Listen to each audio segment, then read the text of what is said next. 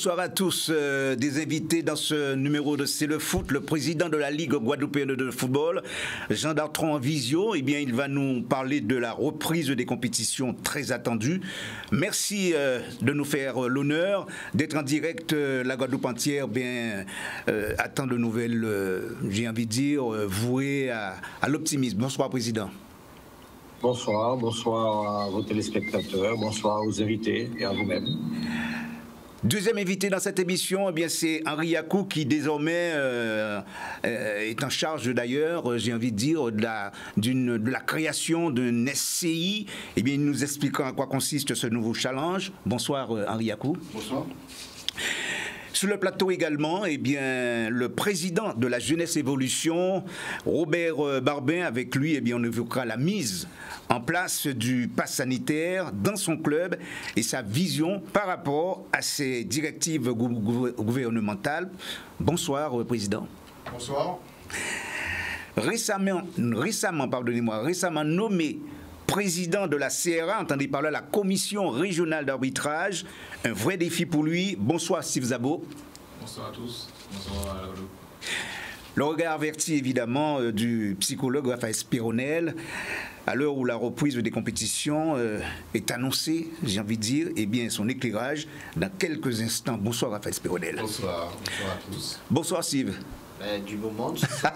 ah ben oui. Maintenant, on va pouvoir un petit peu voir comment les choses ont évolué. On aura le temps de discuter pendant l'émission. Et bien, je salue tout le monde. Et les téléspectateurs aussi qui, nous accompagnent pendant cette émission. Parfait. Jean Dartron, eh bien, nous rentrons dans le vif du sujet. Voilà plusieurs semaines que vous travaillez sur euh, une reprise probable euh, des compétitions. Qu'est-ce qu'il en est aujourd'hui? Qu'il en est, bon, je pense qu'il faut contextualiser l'espace dans lequel nous sommes là avant même de parler vraiment de reprise. Hein. Oui. Et comme j'ai eu l'occasion d'annoncer, que ce soit nos partenaires, à l'État et autres, la reprise du sport, du football notamment, n'est pas une problématique uniquement technique de refaire démarrer une compétition. Il s'agit d'un problème sociétal. Hein. Je crois que depuis deux, trois mois, la Guadeloupe est rentrée dans un espace de souffrance et que nous pensons que, quel que soit là où on se positionne dans sa responsabilité, on ne peut pas ne pas se poser le problème de la reprise du sport. Mhm. Donc nous y travaillons, nous avons travaillé avec euh, les services de l'État, nous avons travaillé avec les collectivités, nous avons travaillé avec l'association des maires, et nous essayons vraiment que cette reprise du football soit quelque chose de partagé. Euh, les, les jeunes en attendent, D'ailleurs, euh, comme j'ai pu le démontrer à M. le préfet et son équipe, euh, actuellement, le nombre d'espaces où le football, euh, en dehors de l'organisation de la Ligue, est en train de renaître. Ça devient, à mon avis, même dangereux pour notre société.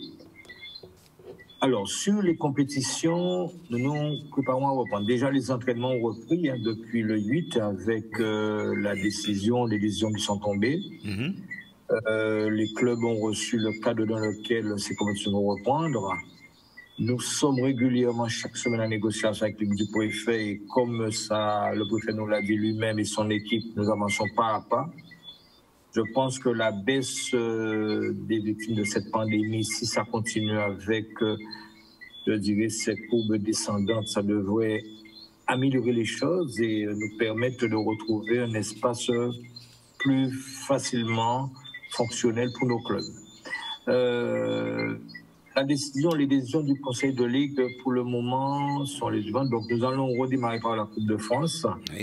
Bien entendu, nous avons 56 clubs engagés en Coupe de France, mais vu la situation et le temps qui nous est parti, parce que nous devons le 13 novembre euh, avoir notre finale du 7e tour sur la Guadeloupe, de nos deux équipes euh, au niveau de la Guadeloupe au 7e tour entre maintenant et le 7e tour et le temps d'entraînement, nous allons pouvoir, euh, le Conseil de Ligue a démarré, a décidé de démarrer avec huit clubs. Il faut savoir que c'est une décision partagée avec nos collègues de Martinique en prenant en compte le temps d'entraînement. Nos collègues de Guyane étaient partis avec 16 clubs ben, sans tenir compte vraiment du temps d'entraînement, mais ils se sont arrêtés moins souvent, moins longtemps que nous apparemment, mais bon, euh, voilà, donc euh, le week-end du 30 octobre, on devrait avoir euh, c'est huit clubs qui s'affrontent. par la suite, les demi-finales, le 6, c'est pour une finale, bien entendu, le, le, le 7e tour, le 13 novembre ou le 14 novembre chez nous. L'équipe est en train de travailler pour préciser les dates. Parallèlement à cela, donc hier soir, il y a un groupe de travail élargi à des présidents de club qui ont travaillé sur euh, la reprise des championnats. avant que le Conseil de Ligue valide, ça va être fait lundi. les premiers éléments, c'est que les différents championnats vont certainement avoir lieu mi-novembre et la Coupe de la Guadeloupe peut-être le week-end d'avant. Donc, disons que sur le plan technique organisationnel, les choses se mettent en place. Maintenant, c'est quel accompagnement pour les clubs pour pouvoir permettre ces reprises. Oui. Pareillement au niveau des jeunes, au niveau du football féminin, nous devons dès lundi pouvoir valider ces dates en conseil de ligue. Mais bon, la tendance est plutôt à une reprise sur la forme mais peut-être avec des systèmes allégés. Mais bon, je laisse encore le soin au Conseil de Ligue de se prononcer sur les différentes hypothèses qui vont être présentées lundi. Oui, alors, Président, euh, c'est vrai que vous parliez tout à l'heure de huit clubs. Alors, comment allez-vous procéder, comment avez-vous procédé justement pour déterminer en quelque sorte ces clubs? Alors, euh, nous avons consulté plusieurs présidents de clubs et nous avons eu deux réunions avec euh, les présidents qu'on a partagé en deux sur la méthode, euh, bon, avec l'édition de la commission de la Fédé, ils ont souhaité que nous uniformisons pour qu'il n'y ait pas de tension. Bon, la problématique, comment prendre huit clubs pour le moment, notre conseil de ligue s'est arrêté aux huit meilleurs clubs de Ligue 1 de l'année dernière. La Martinique s'est alignée sur la même tendance et la Guyane va sur cette même tendance, d'accord? La fédération, la commission de Coupe de France a souhaité que les trois ligues euh, aient un cadre structuré homogène. Et bon, nous nous sommes mis d'accord là-dessus. Euh, Bon, certains présidents de club ont souhaité qu'on fasse un tirage au sort, qu'on fasse une enquête, tout cela, on les a bien entendus, mais il fallait qu'avant le COMEX de demain, que nous fassions remonter notre tendance et voir, voir même, ils ont souhaité avoir les noms des clubs en urgence parce qu'il fallait que par rapport aux 56 clubs et les 8 clubs que nous avons retenus, qu'ils ont les noms exacts pour pouvoir euh, faire une validation COMEX. Ou nous déposons les armes et nous disons que nous ne pensons pas à la Coupe de France, ou encore, je pense qu'il est nécessaire, si le football reprend, que l'une des rares compétitions qui euh, ramène, je dirais, un peu de finances au club, nous ne laissons pas passer cette occasion. Et puis, le gros problème, la, grosse problématique dans l'état actuel des choses, c'est le pas sanitaire. Justement, comment faire euh, respecter en quelque sorte, eh bien, j'ai envie de dire, euh, alors, le, premier élément de réponse, euh, en tant que responsable du football guadeloupéen, le conseil de ligue et moi-même, le président, et je, on a beaucoup partagé ça avec les présidents de ligue. Les mhm. présidents de, ligue, de, pardon, de, de, de, club, les présidents de club rencontrent des problèmes, ça c'est clair, mais ça c'est un constat. Maintenant, quel positionnement avoir? On ne peut pas ne pas tenir compte de ces deux mois que vient de vivre la Guadeloupe. Euh, la situation est continue à être encore dramatique, contrairement à ce qu'on pense, même s'il y a une baisse, mais là-dessus, c'est quand même compliqué.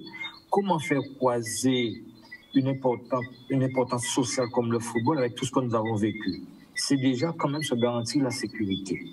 la sécurité passe par quoi? Un pass sanitaire. Déjà, nous avons obtenu que nos moins de 18 ans puissent pouvoir reprendre l'entraînement sans le pass sanitaire, mais les compétitions n'auront pas lieu sans pass sanitaire, même les matchs amicaux, s'il y en a, ne peut pas avoir le match sanitaire. Ça, c'est déjà cela. Au niveau des adultes, c'est-à-dire au niveau des seniors, vous comprenez bien que euh, nous devons montrer notre volonté de mettre tout en œuvre pour que cette pandémie ne ressurgisse pas sur la société guadeloupéenne.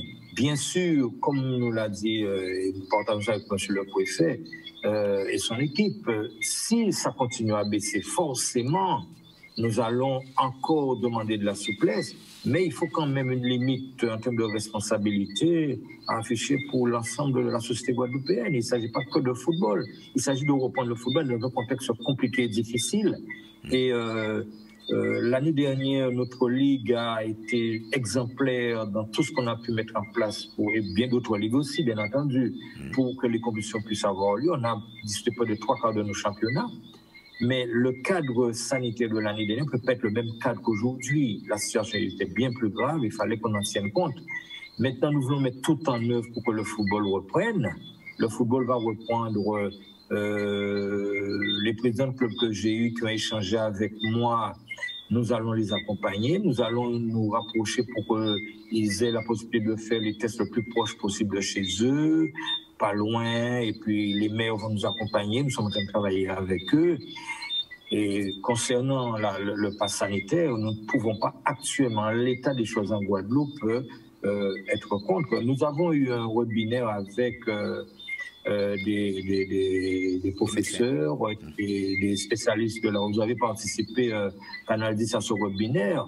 Vous avez vu comment que tout le monde souhaite que le sport reprenne, vu la force, le poids social du sport chez nous, euh, le poids positif, je dirais. Mais parallèlement, les spécialistes, les experts craignent cette cinquième vague sur notre territoire. Donc, euh, euh, nous devons quand même rester dans ce cadre de crédibilité et permettre que si reprise il y en a, mais ça se fasse dans un espace où l'enfant, le jeune s'exprime de manière, je dirais, euh, avec optimisme, avec confiance. Euh, nous devons retrouver les terrains, nous devons retrouver les terrains, mais tout simplement avec de la confiance et aussi de la sérénité. Alors, Jean Dartron, euh, justement, j'ai vu, ce qui, enfin, vu ce qui se passe actuellement. Euh, du côté de, du côté de Saint-Martin. Vous n'avez pas voulu à un moment donné vous aligner un peu à, à cette pratique ou bon, cette méthode? alors, alors, bien entendu, le préfet de Saint-Martin ne s'est pas aligné ou euh, n'a pas travaillé ou bon, ne s'est pas aligné comme a fait le président. Mais tout simplement parce que euh, l'approche qu'a Saint-Martin de la gestion de la, de la pandémie n'est pas la même approche que nous. Je vous donne un autre élément par rapport à la Guyane. Hmm. Par rapport à la Guyane, c'est un problème. La, la, la, Guyane a un facteur en termes de population, une population beaucoup plus jeune que la population de la Guadeloupe. D'accord? Donc, il y a des paramètres, il y a des leviers qui font que les décisions bougent.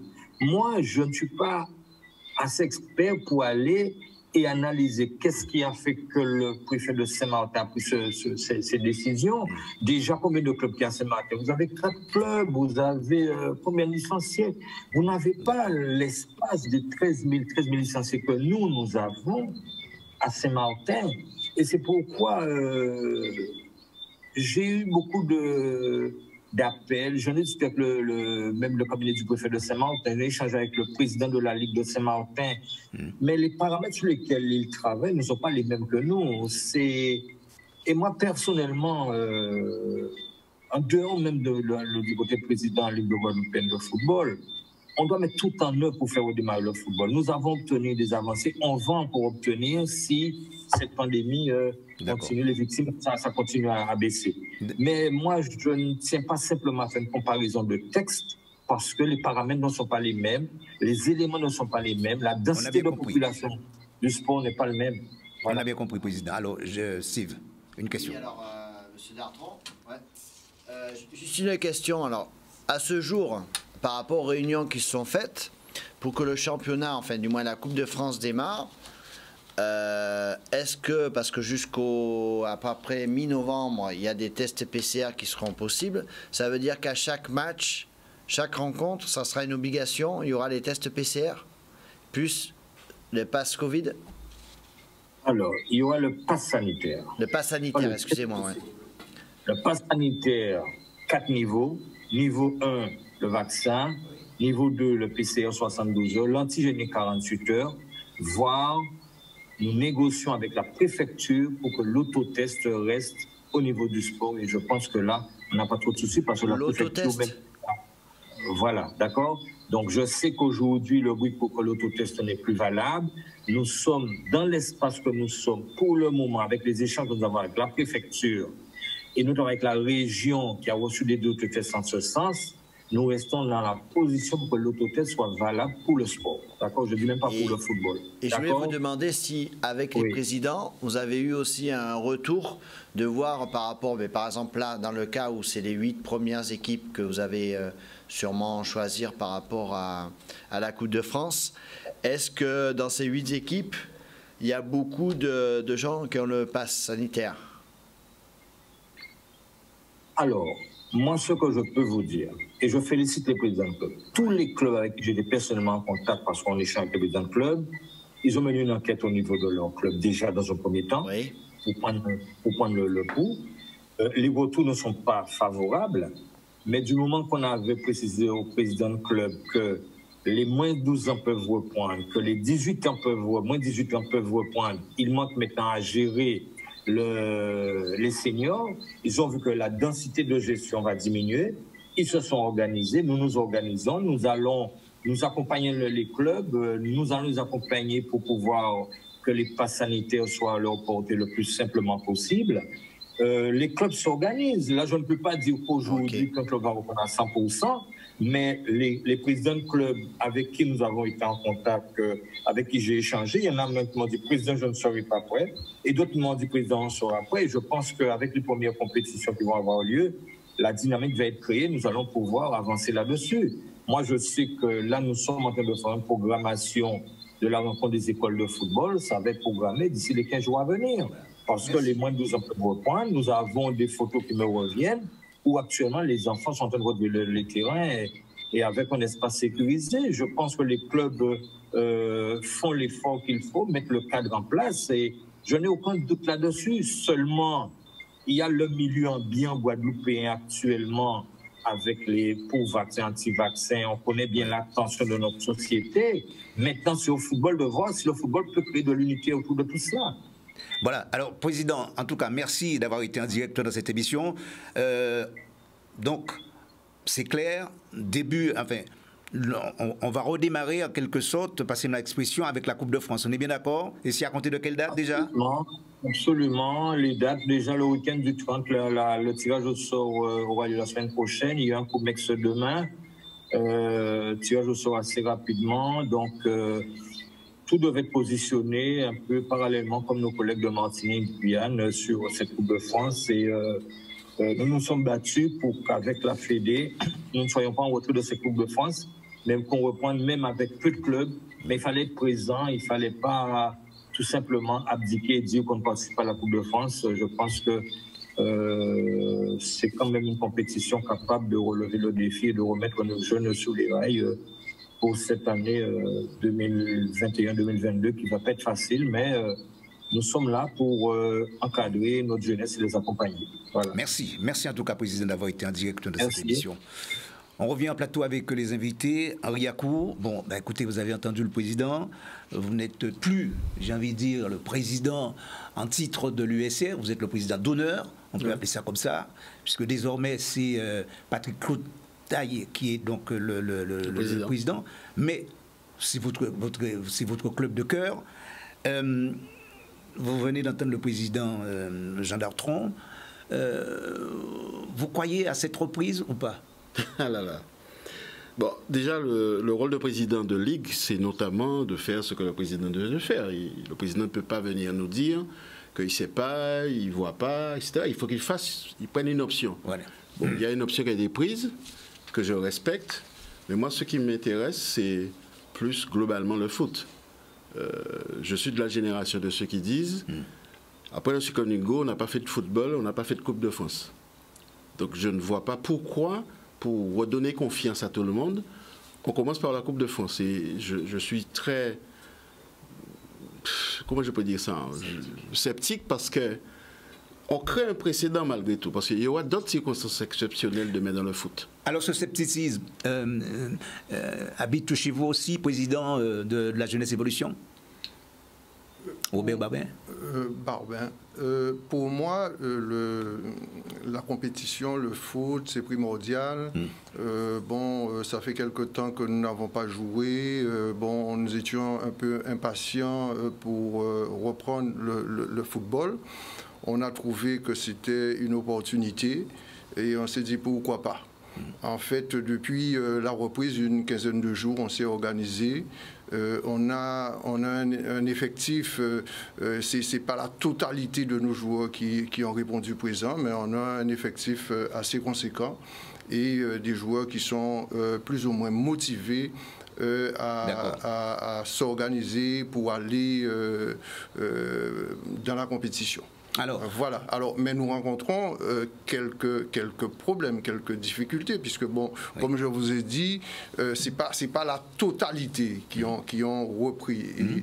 euh, et, nous attendons, si vous voulez, pratiquement les meilleurs. Alors, il y a un effectif de combien de joueurs pour l'instant? Alors, on tourne autour de 18-20 joueurs. Bon, d'accord. Et qui sont dans quelle situation sur le plan sanitaire? Alors, sur le plan sanitaire, bon, euh, écoutez, il y a le, le, le, pass sanitaire euh, qui est mis en place par, euh, par les autorités, mm. que nous observons, bien entendu. bon, il y a quelques difficultés dans la mesure que, bon, près de 60% de la population qui n'est pas vaccinée, bien entendu, parmi ces 60%, il y, a, il y a très certainement des jeunes de chez nous qui, mm. effectivement, qui ne sont pas, qui ne sont pas vaccinés, qui sont peut-être pas trop pour la vaccination non plus. D'accord. Alors, mais il y a d'autres dans ce dispositif. Il y a aussi euh, bon euh, les, tests de dépistage, tests PCR que nous. On reviendra avec vous un peu plus longuement, euh, Robert Barbin. Je vous rappelle que vous êtes le président de la Jeunesse Évolution, mais j'aimerais avoir un petit peu l'avis de tout, de, tout un chacun sur le plateau. Steve Zabo, président de la Sierra. Alors cette reprise, vous la voyez comment? Dans un plan général, effectivement, je pense qu'il y a quand même pas mal d'enjeux. Oui. Euh, mais moi, je vois quand même de mon œil cette reprise. Il faut, euh, il faut reprendre. Après, je ne sais pas dans quelles conditions, mais peut-être petit à petit. Et ensuite, créer une dynamique, comme a dit le président euh, de la Ligue, pour qu'on puisse retourner à normal. Ça, c'est. Il faut, être quand même optimiste. D'accord, il faut être optimiste. Alors, Raphaël Spéoner, en tant que psychologue, c'est vrai, quand on entend autant de versions, oui. quelle, ben, est votre lecture? On est en situation de crise, donc on, peut bien comprendre que ben, tant que la crise impacte mm. euh, les différents euh, systèmes, hein, personne n'est sanctuarisé. Quand même, mais quand même, la Coupe de France, c'est une compétition un peu particulière elle est tout à fait particulière, c'est quand même la possibilité de Goliath et David, c'est des rencontres, c'est les petits qui peuvent rentrer les grands, il y a des enjeux symboliques très importants. Euh, je ne sais pas si euh, se relancer sur ça, c'est peut-être une, une idée, l'idéal, compte tenu de la symbolique de la Coupe de France pour tous les clubs. En sélectionner 8, les 8 meilleurs, ça peut paraître logique dans une compétition de classique, mais dans celle de la Coupe de France, je m'interroge. Une pause couleur dans cette édition. On revient tout de suite après pour parler encore justement, et eh bien avec nos invités pour parler d'ailleurs de, cette reprise de, de, de compétition. À tout de suite. Retour en plateau avec euh, nos, invités. C'est vrai que nous parlons euh, du pass sanitaire, nous parlons de la reprise en quelque sorte des, compétitions. Et euh, alors, Henri Akou, c'est vrai que l'USR, bon, certainement, va se trouver, va se retrouver parmi les huit équipes qui sont retenues pour la Coupe de France. vous, vous allez aborder cette rencontre, en tout cas cette compétition, dans quel état d'esprit? Euh, Alors, bon, je vais donner un avis personnel parce que je ne suis pas président du club. Bon, le président dit qu'il a, consulté tous les présidents. Bon, donc il a dû certainement appeler euh, le président Clotaille. Moi, moi ma position est très, très, très simple. Hein. Euh, moi, je veux bien qu'on recommence à jouer au foot. Effectivement, c'est évident. Mais entre recommencer à jouer au foot et recommencer tout de suite, je pense qu'il y a un autre chemin à prendre. Hmm. Pourquoi? Parce qu'en fait, il faut qu'on donne autant, du temps au temps. Lorsque on mettrait en place une vraie organisation de générale. Parce qu'on est en train de parler de la Coupe de France pour 8 équipes. Mais il y a 60 équipes dans le football en Guadeloupe autour. Donc pour que ça fasse une dynamique, moi j'aurais préféré qu'on imagine un autre format de compétition et qu'on se dise, alors je prends mes responsabilités, je n'engage que moi, les choses vont évoluer entre aujourd'hui et le 30 novembre. Hmm. On saura plus de choses, on aura des réponses sur tests positifs, pas tests positifs, prise en charge, pas, pas prise en charge. Peut-être qu'on aura des mesures dérogatoires, etc. etc. Moi, personnellement, je pense qu'on a connu des moments difficiles déjà en Guadeloupe. Je rappelle qu'on est resté 44 jours en Guadeloupe sans jouer au foot. Et on a pu faire les championnats, on a pu tout faire. Moi, ma position serait de dire qu'on refait un démarrage du foot le 3 janvier. Hmm. Et entre aujourd'hui et le 30 novembre, les clubs s'organisent et compagnie. Parce que je rappelle quelque chose. Quand on est président de club, il me semble, hein, et le président ne va pas me dire non, on a besoin de, calendrier, on a besoin de, vision, on a besoin de certitude pour préparer quelque chose. Parce que qu'est-ce qui va se passer concrètement? On joue le 30, je perds le match. Hmm. Ben, je suis éliminé. Je fais quoi? Je ou, suis alors, plus. ou alors vous gagnez le match. Non, non, je prends le cas de l'équipe qui perd le match. D'accord, Parce que d'accord. si vous gagnez, au contraire, vous êtes dans le. D'accord, d'accord, d'accord. Alors, je ne dis pas qu'il n'y aura pas un championnat tout de suite après, mais on manque de tous ces éléments. Et donc, je suis d'accord qu'il faut reprendre, mais je trouve qu'on est, et je le, je le répète, je ne comprends pas que ce soit la Coupe de France qui nous guide pour reprendre le football. Si on veut créer une dynamique, c'est les catégories jeunes, comme il a dit le président, les, les U12 et compagnie, faire des plateaux par zone. Exemple concret, Sainte-Rose, Lamentin et, et DR peuvent décider de faire des plateaux avec les sept équipes de, de- de la zone. Il y a quatre équipes à Sainte-Rose, une équipe à DR et trois équipes, euh, deux équipes à, au Lamentin. Alors, cette idée, est-ce que vous l'avez soumise en quelque sorte à la Ligue? On, on va la soumettre parce que je, je réfléchis, il y a d'autres présidents de club, d'autres Oui. dirigeants, on travaille sur des choses pour proposer euh, une démarche. Alors, je voudrais rappeler quand même quelque chose. On passe sur la question de la responsabilité civile et pénale. Mais je suis désolé. Personne ne sait où est-ce qu'il y aura un cluster là dans le foot si on démarre. Je rappelle que la, la Ligue a fait une belle, euh, euh, un très très très bon webinaire. Je, je crois que c'est la meilleure expression La euh, médicale qu'on ait trouvée Oui. jusqu'à aujourd'hui, selon moi. Sauf que les médecins ont quand même rappelé en disant on comprend que vous voulez recommencer, mais faites attention que vous ne soyez pas à l'origine de la cinquième vague. Parce que le football, c'est quoi? C'est s'embrasser, se tenir, se rencontrer et compagnie. Or, je pense qu'il y a des mesures à respecter, mais il me semble qu'on aurait dû prendre plus de temps à mettre en place une vraie dynamique sur l'ensemble du football pour que nous démarrions tous en même temps. Et là, ça aurait créé un effet. Et peut-être qu'on aurait eu des joueurs, notamment, qui vont se vacciner, qui vont faire et compagnie. Et puis, je voudrais rappeler quelque chose. Il ne faut pas oublier que le football, ce n'est pas seulement des joueurs, des entraîneurs, des dirigeants. hein. Il faut des gens sur le banc de touche. Il faut des arbitres, il faut des délégués de terrain. Oui, alors justement, vous- Voilà. vous- là vous donniez votre point de vue. Pour- quand, quand on parle justement de l'arbitrage, de enfin justement de l'arbitre, euh, je rappelle que Steve Zabo, vous vous êtes donc nommé récemment euh, président de la CRA, vous avez été arbitre vous-même. Euh, Est-ce que ce ne serait pas une tâche un peu rude pour vous dans l'état actuel des choses? D'abord, qu'est-ce qui vous a poussé euh, à accepter ce poste? Alors, dans, dans- dans un premier temps, euh, le président euh, Jean Dartron m'a sollicité pour un peu redynamiser, redynamiser un peu l'arbitrage européen. Donc, euh, donc j'ai j'ai sollicité. euh, Ce n'était pas le cas avant ou pas? Non? Euh, oui, mais bon, c'était dans une autre position. Voilà, je ne peux plus arbitrer. Bon, j'ai eu un accident. Donc, euh, bon, j'ai posé des questions autour de ma famille parce que je sais que quand même ça demande pas mal de temps. Donc, ils m'ont dit, bon, il n'y a pas de problème, ils me donnent euh, le quitus. Donc, bon, j'ai accepté. Et euh, on est prêt à relever, le défi. Euh, donc, j'ai mis en place une équipe. Et ensuite, avec l'arrivée du CTA aussi, donc on pense vraiment Boissard. recréer cette famille, voilà, M. Thomas Boussard, le CTRA, euh, recréer cette famille d'arbitrage afin vraiment de nous intégrer dans le football. Alors, Donc, il y a voilà. combien d'arbitres pour l'instant? Donc pour l'instant, on est aux alentours de 150 arbitres.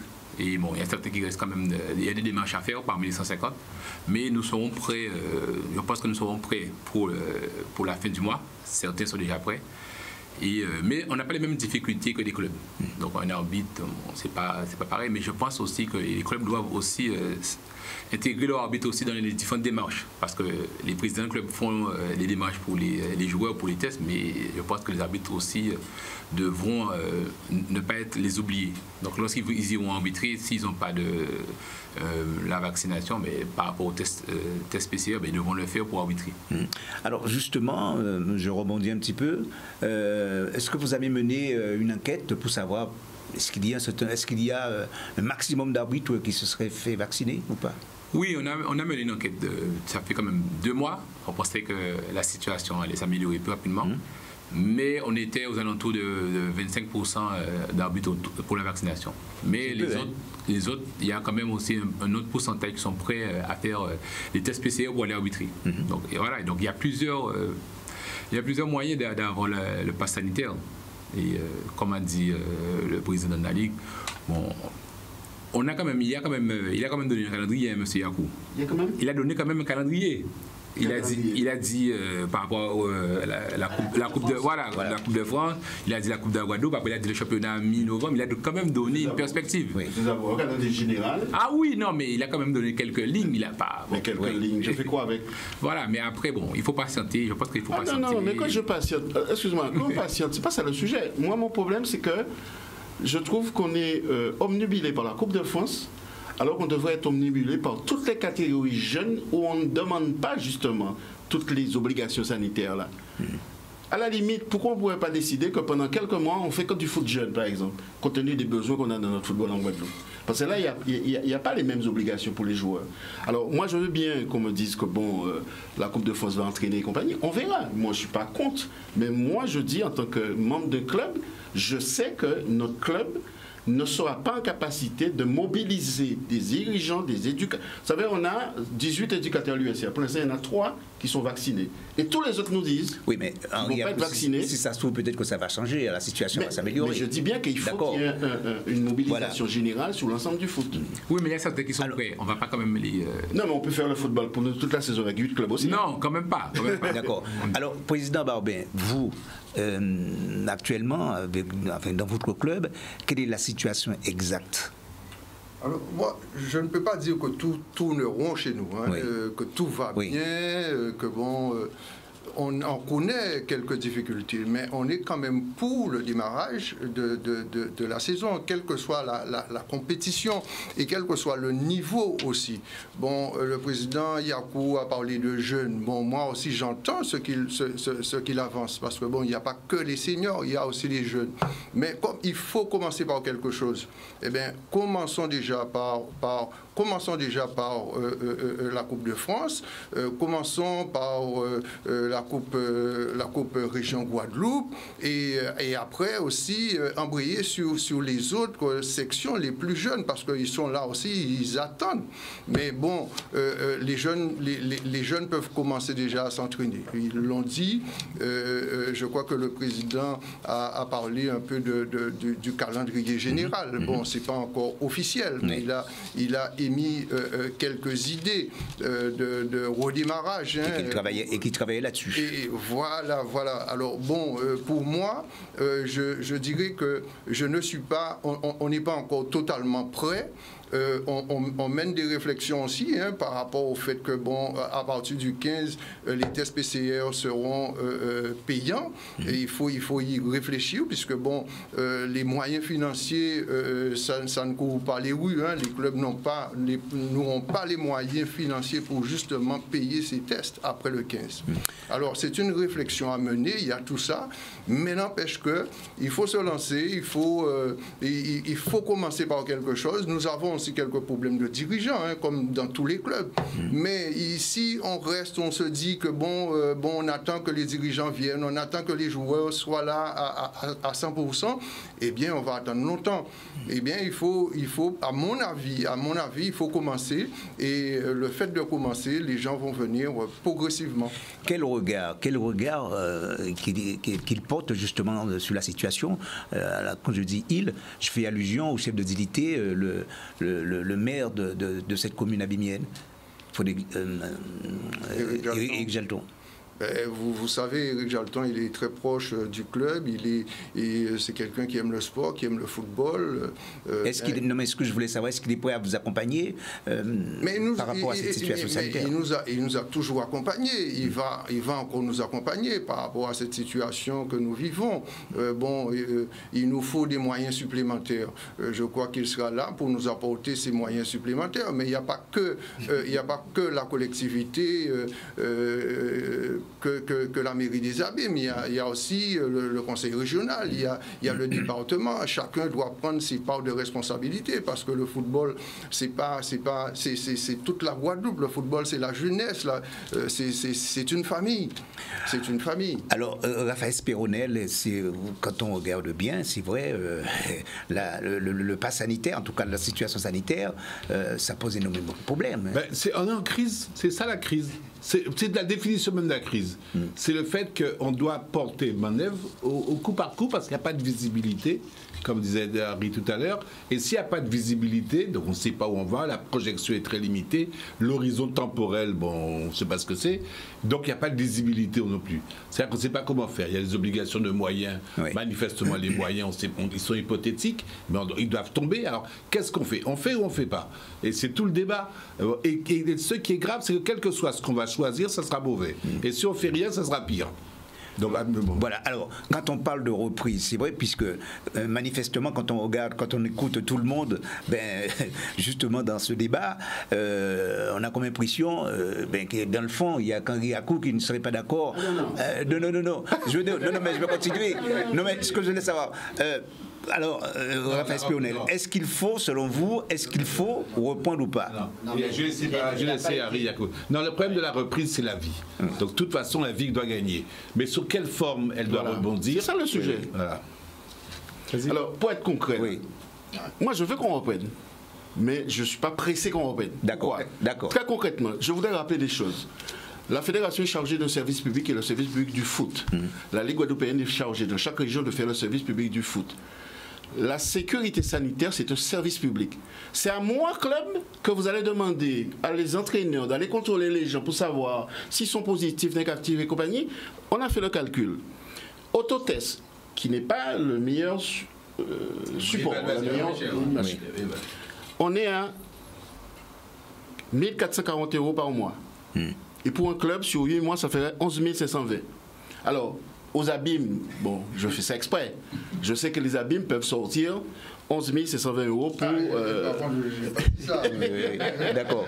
non, mais je, je- je- je- non, mais j'essaie j'essaie de t'aider, j'essaie de t'aider. Commune C3, c'est peut-être plus compliqué. Là, comment c'est plus compliqué Mais ce que je veux dire par là, si on me dit maintenant que ces choses-là vont être mises en place pour tous les clubs et qu'on n'a pas à se poser des questions de savoir qui va payer, je serai responsable à ce moment en tant que club de la mise en place. Lorsque la Ligue nous dit les règlements d'un championnat, c'est ça, c'est ça, c'est ça, on ne se pose pas de questions.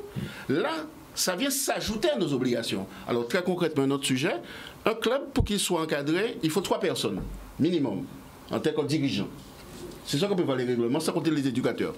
Lorsque vous avez autant de dirigeants qui ne veulent pas se vacciner, qui sont contre le pass sanitaire, est-ce que le règlement, là aussi de crise, ne doit pas prévoir de diminuer le nombre d'obligations vis-à-vis des clubs Ce sont ces petites choses-là qui, constitu- qui constituent une saison et qui permet à un club de se dire Ok, j'y vais, j'y crois et compagnie. Mais de démarrer par la Coupe de France, moi, je ne crois pas que c'est la meilleure solution. Mais par contre, je respecte la décision de la Ligue. Et en plus, parmi les huit équipes, j'ai cru comprendre qu'il y aurait certainement l'USR parce que c'est les huit meilleures équipes de la saison dernière. Mais j'ajoute qu'aujourd'hui, si on nous dit top départ, on n'est pas prêt à, assurer euh, notre présence parce qu'on a seulement trois vaccinés, je crois, et tous les autres joueurs disent carrément qu'ils ne veulent pas entendre parler de tests, de tests et de vaccins. Voilà. Alors, Henri, Par contre, j'ajoute que si je pouvais leur dire, comme dit le, le président de Jeunesse Évolution, que les tests sanitaires sont mis en place, il y a un infirmier, il y a un médecin, que c'est tel joie, tel et compagnie, là, ce serait ma responsabilité s'ils ne sont pas au rendez-vous. Je pourrais déclarer forfait à ce moment-là. Steve. Non, c'est juste rebondir en fait. Je pense pas que M. Yakou est contre le démarrage de la Coupe par rapport à. C'est de la façon qu'on va démarrer la Coupe de France. C'est-à-dire, on va un peu dans l'inconnu par rapport même aux clubs et les situations qui vont se présenter parce qu'en fait, on programme ça. Alors après, M. Speronel aussi a lancé le, le sujet de la Coupe de France et de son charme de la Coupe de France. Ça veut dire qu'en général, c'est une coupe qui est ouverte à tout le monde. C'est-à-dire que là, le niveau, peu importe le niveau. Alors après, choisir huit équipes. Alors c'est facile de critiquer. Quand on est là, si on propose rien, c'est dur. Mais je reconnais que ça tue un petit peu le charme de la Coupe de France. Parce que maintenant, il suffit pas juste de bien représenter la Guadeloupe. C'est quand même la Coupe de France, ça représente tous les clubs. Alors en gros, en gros vous- Voilà. vous, préconisez quoi Ce serait peut-être tout simplement, concernant la Coupe de France, ce serait carrément de, de, de- de la mettre en place la saison prochaine. Non, pro- non, non, non, non, non, non. Quels sont les clubs Voilà. qui sont candidats à être en Coupe de France Voilà. avec les obligations sanitaires? Point final. Voilà, déjà. Je pense Si, que ouais. si Juvenis, qui est cette chose comme moi, dit qu'elle est prête, à ce moment-là, Juvenis serait dans la compétition. Et Pourrait dire, je ne me sens pas prêt, je n'y vais pas. Jeunesse Évolution dit qu'elle qu'elle est prête, elle y va. Mais à ce moment-là, le club prend ses responsabilités. Mais de me dire que je suis parmi les huit, je suis en Coupe de France alors que j'ai d'autres sujets en tête, ça me pose un petit problème. Oui, ce qui fait l'objet d'un véritable débat, oui. Mais juste un point quand même, hein. on ne peut pas prendre tout le monde parce que on le président l'a dit, il y a un, un problème de timing. Oui. Il y a un problème de timing, donc on ne peut pas prendre tout le monde. Après, il, faut faire, il faut faire des choix. Et normalement, le- la Coupe de France, quand même, je pense que c'est euh, c'est important. Et, je- et au niveau de la 3F, je pense que c'est la, la seule chose qu'on peut, euh, qui nous reste encore. Parce que si c'est oui. faut pas aborder ce sujet-là. Voilà, c'est ça, non, mais bon. C'est C'était. question qui intéresse la fédération. Voilà, c'est ça. Sans quoi, ils, peuvent. moi, peuvent- je voudrais, je Il voudrais ajouter quelque chose. Je voudrais ajouter, Oui, je voudrais allez-y. ajouter quelque chose. Si, effectivement, le, le- le président vient parler de huit clubs, alors s'il y a un, parmi les huit, un club qui n'est pas prêt, je pense qu'il y, a- y y un désistement. Ben, il y a un autre qui va Mais il y a un autre qui va le remplacer. Sauf que parce que bon, prévoient une sanction. si, si, eh bon, à ce moment-là, s'il y a un problème de sanction, le- la sanction peut ne pas être appli- appliquée puisque, puisque le club connaît des difficultés. Je, je, je, je- crois, je crois que bon, on peut, tout le monde peut comprendre cela. Hein, Mais on a, on a, il y a huit clubs au départ. Les huit clubs, bon, moi, euh, l'USR dit, moi, je ne suis pas prêt. Mais il y a le neuvième club, le dixième Qui peut le remplacer. club qui Voilà. peut le remplacer, un mien à Les relever. huit clubs qui sont concernés, ils sont déjà avertis. Parce que là, on- si on démarre le 30, à la fin du mois la compétition, euh, je veux dire, à un moment, il faut que tout le monde soit prêt. Parce que là, on démarre les entraînements. Imaginez que, par exemple, il y a une équipe parmi les huit qui se désiste. Et là, tout d'un coup, il faut aller la chercher. Mais on va la trouver comment et dans quel état Non, on Parce qu'ils ne sont pas entraînés. mais c'est une supposition. Si, Voilà. ça se trouve, peut-être que c'est une équipe. On a été dans les. Voilà. Nous, on était à 8 Ah, donc Alors, c'est- c'est- bon, alors, euh, ben, je vous ai fait venir justement euh, Oui. sur le plateau de Canadis pour euh, nous parler d'ailleurs de ce fameux projet, parce que vous, ce projet, j'ai envie de dire un peu novateur, hein. Ouais. Euh, la création d'une société coopérative d'intérêt collectif, le SCI. Alors, c'est quoi ça? Alors, en fait, euh, bon, c'est un peu dans le même esprit. Depuis la crise, on se posait plein de questions. Et moi, j'étais président encore du club. On a profité pour faire un état des lieux de notre équipe, de- du football par rapport à tout ce qu'on a vécu. Et on a conclu que euh, faire ce que nous faisons tous, tous les jours, on va jamais rattraper le CSM. Le CSM, c'est le meilleur palmarès de la Guadeloupe. Donc, vous pouvez, être- vous pouvez faire tout ce que vous voulez, vous serez champion, champion, champion, mais le CSM, c'est un élément du patrimoine du football. Donc, on s'est demandé, mais qu'est-ce qu'on peut faire pour modifier euh, la gouvernance de l'USR Et on a travaillé avec euh, des consultants, et notamment, euh, on a été accompagné par la Banque publique d'investissement qui nous accompagne en termes de réflexion. Et moi, ce qui me, me désole, c'est de voir que Partout ailleurs, tout le monde dit comment on fait l'après-Covid, mais nous, dans le football, on ne se pose aucune question sur l'après-Covid. Alors nous, on a décidé de se poser des questions. Et on a retenu le principe de créer une société commerciale d'intérêt collectif qui va s'occuper de toute la partie un peu de développement du club et de recherche de partenaires, mais de façon professionnelle. Donc c- c- concrètement, il y aurait une société coopérative d'intérêt collectif qui va gérer toutes les grandes manifestations du club, et en particulier l'équipe senior qui est la vitrine, et qui serait chargée à ce moment-là d'aller chercher des partenaires, de mettre en place des manifestations, et de voir comment on peut intéresser les personnes à venir à l'USR. Alors c'est extraordinaire comme expérience parce que lorsqu'on a L'idée, c'est de faire entrer de l'argent au sein du ah, club. ben, vous avez tout compris. Lorsqu'on a rencontré tous les partenaires du club, on leur a parlé de ça, on a fait un webinaire. Mais je leur dis pourquoi les autres clubs se rendent compte. On était scotchés de voir des, des- des chefs d'entreprise nous dire Eh bien, monsieur, à quoi enfin, vous avez compris euh, ce qu'il faut faire, quoi. Parce que vos histoires de venir chaque année me demander un chèque pour votre. Là, maintenant, vous m'intéressez à la gestion du club. Et chose extraordinaire, le- les, les contacts que j'ai pris pour mettre ça en place, on a vu quelques partenaires et on a été très agréablement surpris de voir qu'un chef d'entreprise était d'accord à prendre la présidence de la, de la société. Et en me disant, n'empêche que il faut que tu sois là pour que tu sois le président délégué pour faire fonctionner. Est-ce que, est que vous ne pensez pas que ce serait... Enfin, c'est une idée, c'est Oui. une très bonne idée. Est-ce que vous ne pensez pas qu'il aurait fallu peut-être, euh, euh, j'ai envie de dire, fédérer un certain nombre de clubs, justement, euh, au, au plus ou moins adhérer un certain nombre de clubs à ce projet, par exemple Bah, moi, je suis désolé. Après, il faut d'abord qu'ils s'organisent Voilà. à leur niveau. Oui. À leur, à leur niveau, et ensuite, effectivement, on peut monter en charge. On a, on a eu un accompagnement du DLA, c'est-à-dire la structure de l'administration qui accompagne les développements des, des associations. On a un consultant qui est à distance. Et tenez-vous bien, ce qui est extraordinaire, c'est que notre dossier semble être retenu pour Oui. qu'on fasse au ministère des Sports un exemple de ce qu'il faut faire dans les dômes. Pourquoi? Parce qu'en fait, qu'est-ce qu'on dit dans le document? De référence C'est qu'un club amateur qui veut être un club de haut niveau sans être professionnel doit changer sa gouvernance. C'est Eh C'est dans ce schéma qu'on est. Alors, on peut penser que nous sommes peut-être prétentieux et compagnie, mais nous, on a fait l'expérience de regarder tous les grands clubs autour de nous et on se dit que finalement, ben, on sait l'an prochain qui sera champion, qui sera vice-champion. Il n'y a pas de surprise dans notre championnat. Je suis désolé, comme on dit souvent, c'est vous qui dites ça ici d'ailleurs, et, et finalement c'est le CSM. Parce que c'est une, c'est une institution qui a... Bon, maintenant, il y a jeunesse aussi. Non, mais il y a jeunesse, mais ça n'a pas le même palmarès que, que, que, que. C'est ça, là. C'est ça, là. La Gosier Gosier. viendra, mais n'a pas le même palmarès. Ouais. Mais le club des grands, on les connaît dans le foot. C'est CSM, Étoile, Restar, SS, Racing, Sinois, Gauloise, Juventus. Bon, il y a l'AS Gosier qui a quand même confirmé aussi. Non, non, non, je parle de gens qui ont déjà gagné Oui. X compétitions et toutes les compétitions. C'est vrai. Ok Euh, Je suis désolé, Racing a joué devant 30 000 personnes, euh, je crois, en, en- en Uruguay ou en- au Chili, je ne sais plus. Ok Avec Willy Wiss et compagnie. Et autre chose que je voulais dire, j'en profite, c'est qu'on on, on a aussi quelque chose que nous ne comprenons pas, c'est que nos jeunes aujourd'hui, ils ont une seule référence, c'est ce qu'ils voient à la télé. Donc quand le gars vient à l'USCA et que, bon, l'organisation, le niveau des entraînements, la qualité de, de la pelouse, etc., etc., mais c'est pas avec ça qu'on va fidéli- fidéliser des jeunes. Alors qu'est-ce qui se passe?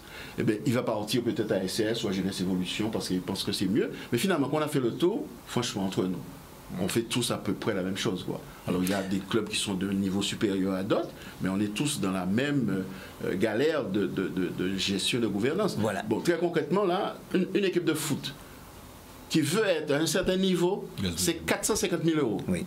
Alors cette société de coopérative Oui. d'intérêt collectif, Oui. euh, moi ce que j'aimerais, pardon, ce que j'aimerais savoir, euh, qu'est-ce que vous attendez d'ailleurs de, ce- de ces euh, de ces partenaires? Il y aura des partenaires économiques qui sont dans un collège des partenaires économiques, il y aura un collège des supporters, il y aura un collège des membres fondateurs dont je serai, il y aura un collège des joueurs qui veulent mettre 50 euros, 100 euros pour être membre de, de cette démarche. Par exemple, je, je prends un exemple concret. Comme une Euh, franchise presque. Exactement. Euh, Grégory. Lisouan, qui est un enfant de l'USR, quand lui a- on a présenté ça, il est membre du comité directeur, il m'a dit, Président, moi ça m'intéresse de, de, De participer. de participer à ça. Quoi. Donc ça montre bien De que- participer à ça financièrement ah, financièrement, c'est D'accord. c'est pas neutre. Et en plus, il commence à s'intéresser à savoir quand un joueur est placé dans un club, combien ça rapporte et compagnie. Donc ça crée une autre dynamique. Et effectivement, comme tu dis, bon, si tu veux, on peut revenir un jour ici avec d'autres personnes pour que je puisse dans les sujet, détails. Mais c'est me semble.